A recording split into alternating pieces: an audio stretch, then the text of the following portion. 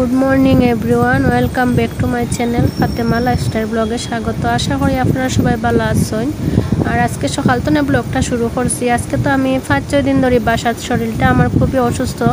থাকার কারণে আমি দোকানেও গেছি না। আর আজকে দেখি একটু শরীরটা একটু ভালো লাগে লাগে বিছনাগুলা নিয়ে আমি রদিত নিয়ে দিয়েছি আর গরুর যার, গরুর সারা গরুর বাবা সাজারছি, গরুর মুচ্ছি, সবগুলো আমার মুছামুছি শেষ। আর বাইরে দেখো কা প্রচুর রোদ উঠছে আজকে, আকাশের রংটাও কিন্তু খুব সুন্দর লাগে। আর অনেক জলমলে জলমলে আকাশের রং, আর বেডগুলা নিয়ে আমি কারণ শরীরটা বালা না থাকার কারণে বেডগুলো আমি নিয়ে ছাদও নিয়ে দিতাম পারছি না লাগে বেলকুনি দেখলাম প্রচুর রোদ উঠছে। এখন গড়ি প্রায় সাড়ে এগারোটা হয়ে গেছে। আর আমি নিয়ে একটা ফাটি বিছাইয়া বেলকনিত বেডগুলা, বালিশ সবগুলা দিছি। দেখি কিছু শুকাই বাড়ি ন কালকে রাত্রে মুখি আনছিলাম মুখির মাঝে প্রচুর পরিমাণে মাটি আছিল। এগুলো দইয়া কেন দিলাম শুকানিত? পেটটা ওর মাঝে উল্টাই পাল্টাইয়া দিলাম। আর শরীরের মাঝে কোনো শক্তি নাই। আমার এখন যত শক্তি তা না, তারপর তো নিজে রান্না বাড়া করতে হইব। নিজের কাজগুলো নিজেই করতে হইব। অন্যের দিয়া কি কত কাজ করাইব? আর অন্যের কাজ আমার খুব পছন্দ হয় না। আর এগুলো বা করছি ফুটি মাছ আর মির্গা মাছ। ইনো মূলা দিয়ে রান্না করব ফুটি মাছ আর আলু দিয়া। আর মির্গা মাছ দিয়ে আমি বোনা করে লিমু। আর আর রান্না বসাই লিছি বাদ ফরে রান্না করব আর আকাশে দিকে ছাওয়া যায় না প্রচুর রোদ উঠছে আজকে। আর অতিরিক্ত গরমও লাগে। আর মূলাটা বসানির লাগে, আমি মশলাটাও কষাই নিলাম। মশলা কষাইয়া মূলাটাও দিলে, মূলা দিয়া তারপরে আমি আলু দিয়া যে মাছটা রান্না করব ওটারও মশলাটা কষাই লিমু। এগুলা খসা একটা খসানি হইতে হইতে মনে করেন আর একটা খসানি হয়ে যাব সবজি।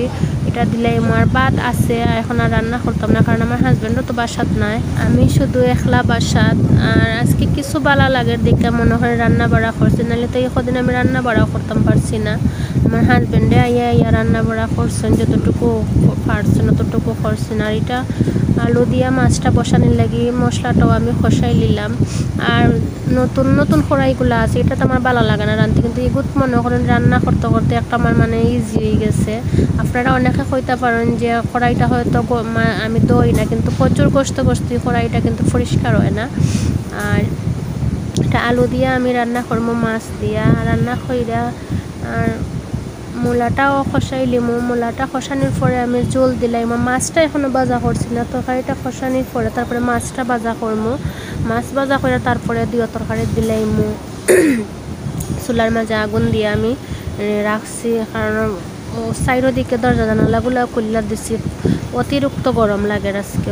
গরম লাগার মতো না, শরীরটা আমার একদম ভালো লাগে না। আমি যে রান্না করতাম তাও আমার ভালো লাগে না।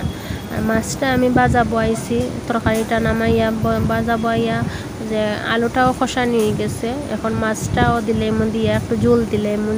জল দিয়ে কী কী কাজ করি না করি তা তো আর আপনার সাথে শেয়ার করব।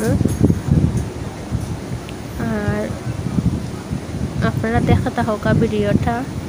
আর অন্য অন্য কাজ আসলে এগুলো করে লিছি খইরা দেখোকা আমার টমেটো সরি মূলা তরকারিটা হয়ে গেছে। আর আলু দিয়া মাছটাও বোনা করে লিছি। ভাত আর রান্না করতে না অল্প করে টাইম ভাত খাইমো গোসল গোসল কইরা আর এইখানে আমার হাজবেন্ডে ফল দিয়া ফাটাইছেন ছোটো ভাই একটারে দিয়া ফাটাইছেন দোকান তলে আপেল পেয়ারা আর আঙ্গুর দিয়া ফাটাইছেন খালা আঙ্গুর কারণ কদিন ধরে ফল টুকাইতে টুকাইতে ফল পাওয়া যায় না। কারণ সিটি কর্পোরেশনের ইয়র লাইক মনে হয় গাড়ি বইতে পারে না। তারা হয়তো বাধা দেওয়ার কারণে বইতে পারে না না মালটা লইছেন আর ড্রাগন ফল লইছেন এগুলো আমি বিকালে খাইমু বা তো খাওয়ার পরে ওষুধ খাওয়ার পরে।